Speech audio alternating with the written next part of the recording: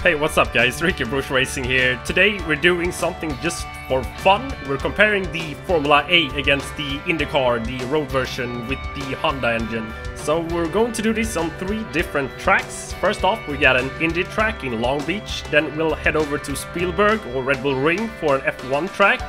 Then we're gonna settle this on, yes, you guessed it, Mazda Raceway Laguna Seca for the decider. Uh, I have my money on the Formula A to be faster here, but I may be wrong. But let's find out. Here we go, guys. So first out we have the IndyCar, which is the DW12, which is a 2016 spec IndyCar, which is a lot newer than the 2011 F1 car that we have in Project Cars 2, but they really are a lot alike. They're about the same size, they produce the same amount of horsepower almost, but only one of the cars is a blast to drive around Long Beach, and it's the Indy car. I'll get to that later to why that is, but it's just a blast to drive around here. I've said it before, Long Beach is one of the best tracks in Project Cars 2, at least in my opinion, the most well done tracks in Project Cars 2. It actually looks exactly like real life. But coming back to the IndyCar here, it feels really good around here. It, the way the car sticks to the road, you can really feel the downforce coming through the wheel. It's just very easy to handle and it's a lot easier than the Formula A to drive around here, that's for sure. I think I did this lap in my second or third try ever with this car on this track. The Formula A I did, I don't know, 10 laps maybe before I could get a solid lap in, so... But with the IndyCar around Long Beach, I did a lap of 110.900.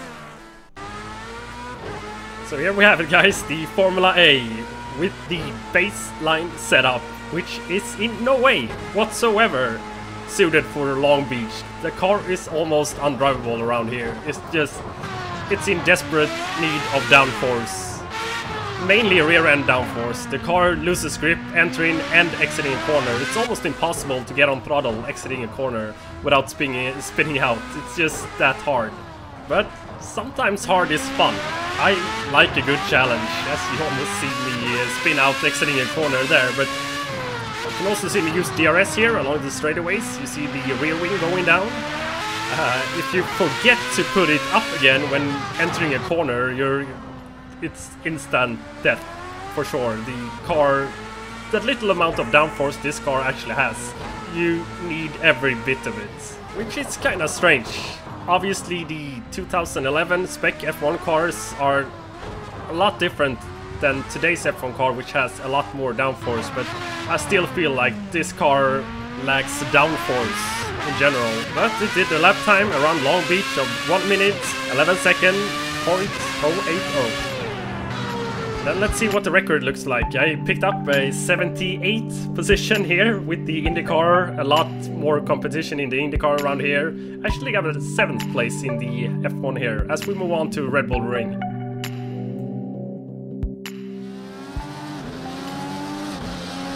I was kind of surprised going around Red Bull Ring in the IndyCar here how much fun this car is to drive. I actually like the IndyCar a lot more than the Formula A. And that's probably pretty simple, because you can really tell that Slightly Mad Studios spent time making this car. It feels a lot better than the Formula A, which feels like an exact copy of the car from Project Cars 1, but I know Slightly Mad Studios was given a pit side seat at the 100 Indy 500 in 2016, and they were given access to basically all the data that Schmidt Peterson Motorsport could provide and that included tire wear, tire pressures, boost, engine mapping, and so on and so on. So they spent their time with this car, and it tells. It really does. The IndyCar around Spielberg or Red Bull Ring here is actually a pretty good combo. Red Bull Ring, which is now owned by Red Bull, or has been owned by Red Bull since 2011, if I'm not wrong, but it's just an amazing track really is. It has that great flow to it, and I really enjoy racing here, and it's just a fun track making hot laps around. Uh, but the IndyCar was pretty fast around here as well, which didn't come as a surprise to me. He did a lap time around here of 1 minute 18.767.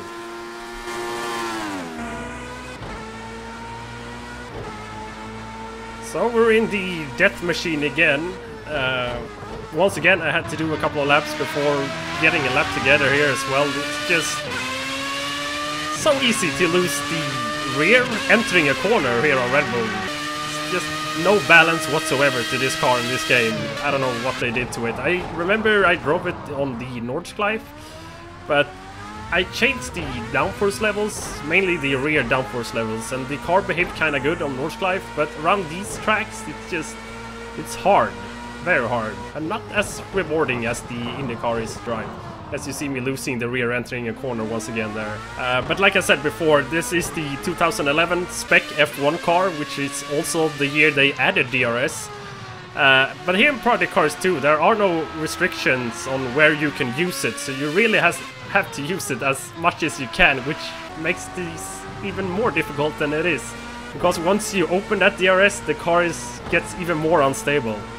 But the thing sounds amazing, it really does. It has that old V8, the 2.4 liter V8 that sounds like a rocket ship or something, sounds amazing.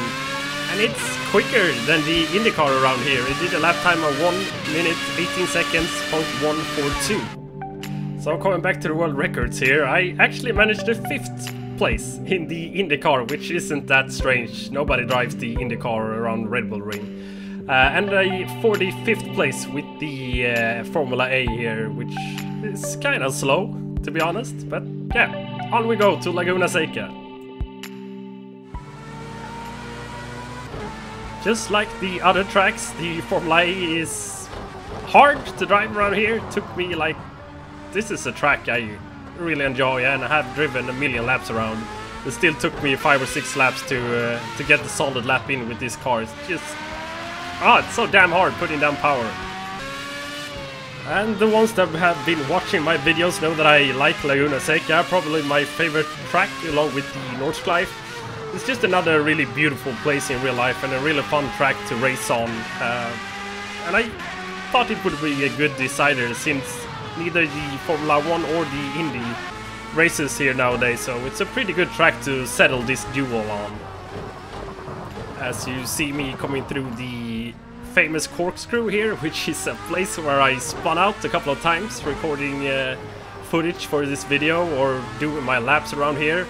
But I gotta say the Formula A on Mazda Raceway Laguna Seca is probably the best combo out of the three tracks I've driven for this test. Uh, and it's pretty quick around here as well. It did a lap time of 1 minute 13 seconds, 0.038. So now we move on to the last lap of this video. And the IndyCar is a blast to drive around Mazda Raceway Laguna Seca as well, just like the other two tracks. It's a car that really has grown on me and hopefully I can find some online races to uh, to try this car out and see how it races against other online competitors, I guess. That will probably be a wreck fest though, but maybe we can get some uh, social races in the AOR to just have some fun with it. I'm no big fan of IndyCar. I, I, I, shouldn't say I'm no big fan, I just don't know a lot about IndyCar. Uh, I'm gonna blame that that I'm European. I'm a huge F1 fan, but it still intrigues me. I'd love to see a, a IndyCar race at some point in my life. I'd love to go to Long Beach and see an IndyCar race there, or even Sonoma would be a blast as well. Either way, we're about to wrap this duel up and see who the winner is here. I guess you probably figured it out by now. I was wrong. I thought the Formula A would be quicker around these tracks, but it's mainly because of the setup though.